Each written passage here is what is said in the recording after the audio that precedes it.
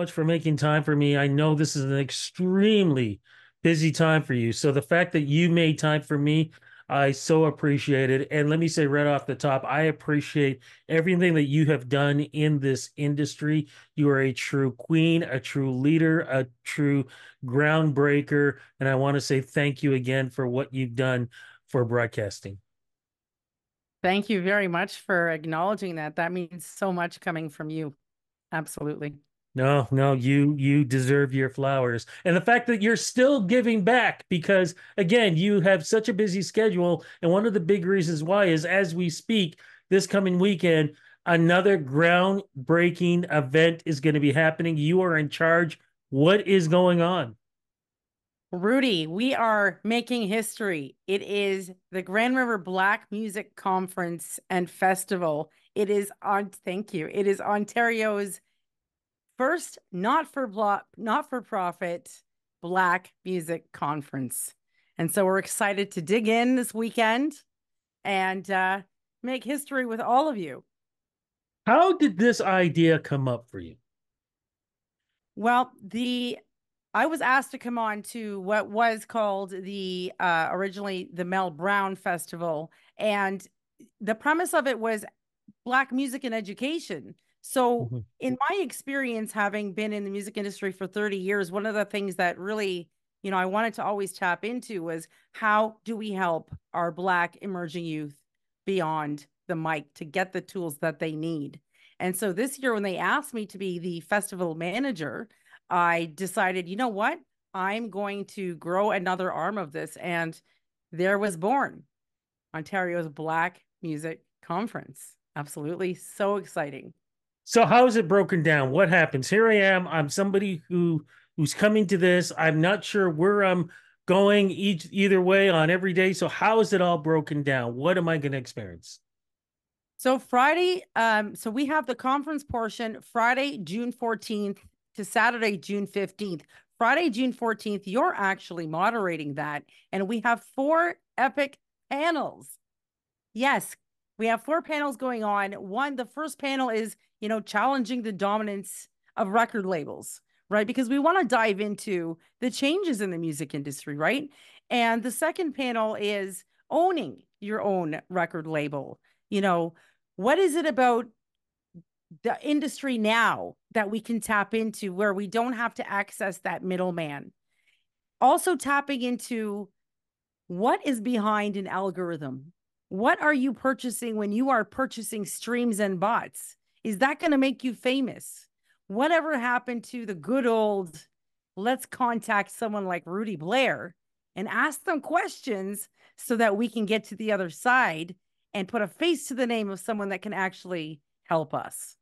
Lots of fabulous things going on. And of course, we have in one room the pioneers who launched hip hop in Canada in one room. So, you know, and a lot of them haven't seen each other in years. So this is also a family reunion.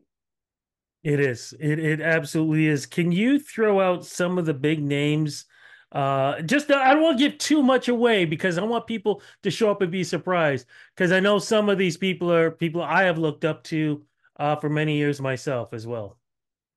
Absolutely. You know, part of the reason I'm in broadcasting is because a lot of these people, including yourself, are you know in these panels. And for me it's it's absolutely important and relevant to to be able to showcase all the hard work and dedication that you guys have done over the years to pave the way. So of course let's lead with you.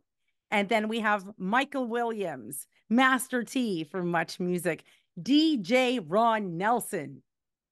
I don't know how much more epic you can get than that. No, no, let's let's leave it, let's leave it to that. But people should realize something too um, and I'll throw myself in there, and I'll even throw you in there too. Um, I don't think we've all ever been together in one room. So that's history itself, right? Think about this. I don't think it's ever happened before. Wow. I kind of thought so. And that's why I decided you guys should just stay the weekend because a lot of the panelists and artists are saying, I haven't seen these people in so long. I just want to stay. So for an entire weekend, We've got activations happening downtown. We've got, you know, the Hollywood Walk of Fame, vinyl stars. Everyone's got their own name throughout the city. Wow. Wow. It sounds like it's going to be such an amazing experience. And you did mention about hotels. I mean, people should be thinking about not just driving down there for one day and going back. Um, affordable hotels are ready for them. They can stay the night, they can stay the weekend and really experience what is happening, which I consider a first of its kind. Yeah, absolutely. I mean, we're partnered with the Walper Hotel, and if anyone uh, wants to go to grandriverblackmusic.com, uh, they can absolutely get a discount on hotel prices. We're also partnered with Metrolinx on their perks passes. So if you wanted to get weekend passes, yeah, you can definitely go to perks. Uh, perks twenty is is the code. So come on out. All you can get uh, twenty percent off hotel passes all weekend.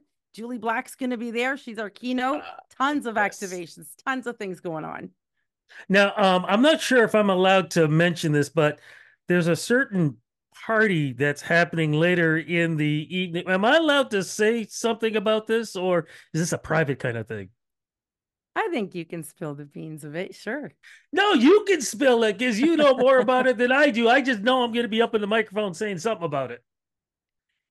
This is a Black music festival, and our partners are Black businesses, and we want to give back to some of our Black businesses.